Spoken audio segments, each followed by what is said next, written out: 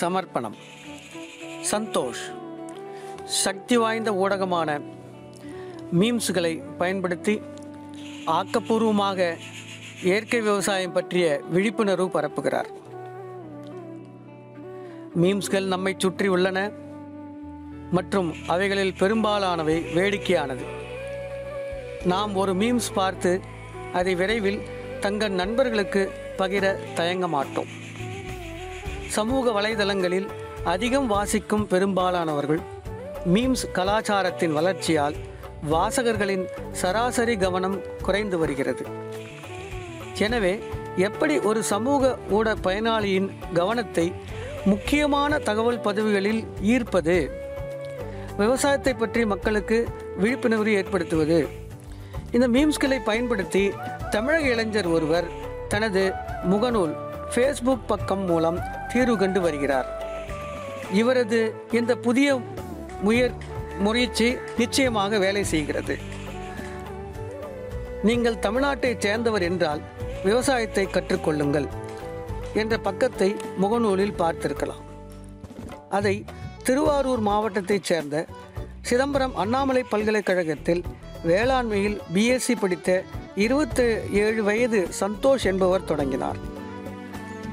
பல்வேறு மீம்ஸுகள் மூலம் விவசாயத்தை பற்றி மக்களுக்கு இந்த பதிவுகள் கற்றுக் கொடுக்கிறது. ஒரு வித்தியாசம் இருக்கிறது. வெறும் நகைச்சுவை துணுக்குகளுக்கு பதிலாக இந்த மீம்கள் மீம்ஸ்களில் அஜித் ஜோதிகா சிவகார்த்திகேயன் பிரியா ஆனந்த் போன்ற பிரபல முகங்கள் சமூக பிரச்சனைகளை வெளிச்சம் போட்டு காட்டி உணவில் ரசாயனங்களை பயன்படுத்துவதன் மூலம் புற்றுநோய் பாதிப்பு ஏற்படும். என்று விழிப்புணர்வு ஏற்படுத்துகிறது. விவசாயத்தை கற்றுக்கொள்ளுங்கள் என்று அழைக்கப்படும் சந்தோஷ் நடத்தும் ஃபேஸ்புக் பக்கம் தினசரி தொண்ணூற்றி ஏழாயிரத்துக்கும் மேற்பட்ட விருப்பங்கள் மற்றும் தொண்ணூற்றி ஒன்பதாயிரத்துக்கும் மேற்பட்ட மக்கள் அதை பின்தொடர்கின்றனர். இயற்கை விவசாயம் மற்றும் விவசாயம் எதிர்கொள்ளும் பல்வேறு பிரச்சனைகள் பற்றி கேள்விகள் கேட்கப்படுகின்றன. சராசரியாக அவரது பதிவுகள் ஆயிரத்துக்கும் மேற்பட்ட விருப்பங்கள் மற்றும் ஆயிரத்துக்கும் மேற்பட்ட பகிரப்படுகிறது. சந்தோஷ் பகலில் தனது கொல்லைப்புறத்து பண்ணையில் விவசாயத்தில் ஈடுபடுகிறார். இரவில் அவர் நாடு முழுவதும் பல்வேறு மக்களின் கேள்விகளுக்கு பதிலளிக்கிறார்.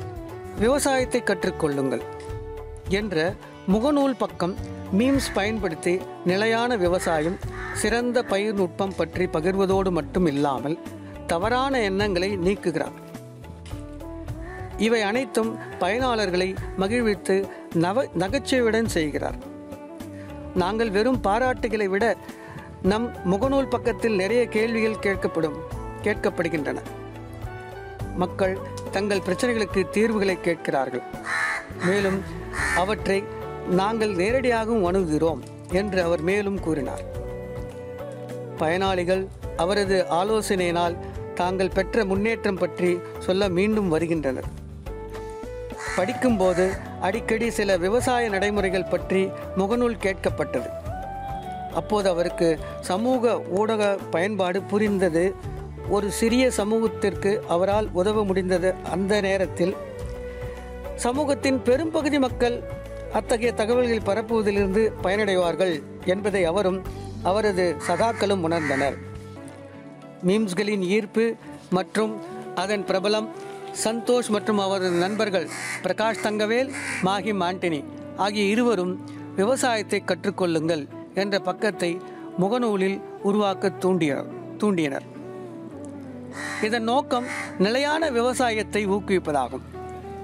ஒரு மாதத்தில் இந்த பக்கம் எழுபதாயிரத்துக்கும் மேற்பட்ட சந்தாதாரர்களை கொண்டிருந்தது. விவசாயம் தொடர்பான கருத்து பரிமாற்றத்திற்கு ஒரு பொது மன்றமாகி துடிப்புடன் செயல்பட்டது. சாதாரண உரையிடுகையில் டெக்ஸ்ட் போஸ்ட் விட மக்கள் மீம்ஸை அதிகம் பார்க்க பகிர்கின்றனர். ஆனால் சமூகத்தை கேலி செய்யும் பல மீம்ஸ்களை பார்ப்பது வெறுப்பாக இருந்தது. மீம்ஸ்களை சிறப்பான வழியில் ஏன் பயன்படுத்தக்கூடாது என இது என்னை எண்ணத் தூண்டியது. சமூக ரீதியாக பொருத்தமான மற்றும் பயனுள்ள செய்திகளை அனுப்ப இந்த சக்தி வாய்ந்த ஊடகத்தை ஏன் பயன்படுத்தக்கூடாது என சிந்தித்தேன் என்று அவர் கூறுகிறார். தன்னை தொடர்பவர்களை பற்றி சந்தோஷிடம் கேட்டபோது எனக்கு செய்தி அனுப்பும் எழுபது சதவிகித மக்கள் தமிழ்நாட்டைச் சேர்ந்தவர்கள். ஆனால் பெங்களூரு மற்றும் கொல்கத்தாவிலிருந்தும் ஏராள மக்கள் என்னுடன் மற்ற நகரங்களை சேர்ந்தவர்களும் இணைகிறார்கள். இயற்கை விவசாயம் ஆர்கானிக் பண்ணைகளில் உற்பத்தியை அதிகரிக்க உதவி குறிப்புகளை கேட்கும் நபர்களிடமிருந்து தினமும் நூற்றி ஐம்பது அல்லது இருநூறு செய்திகளை படங் படங்களுடன் அவர் பெறுகிறார். இயற்கை வேளாண்மையில் அவர் எதிர்கொள்ளும் பிரச்சனைகள் குறித்து அவரிடம் ஒவ்வொரு நாளும் கேட்கப்பட்ட நூறு நூற்றி ஐம்பது இருநூறுக்கும் மேற்பட்ட கேள்விகளுக்கு சந்தோஷ் பதிலளிக்கிறார்.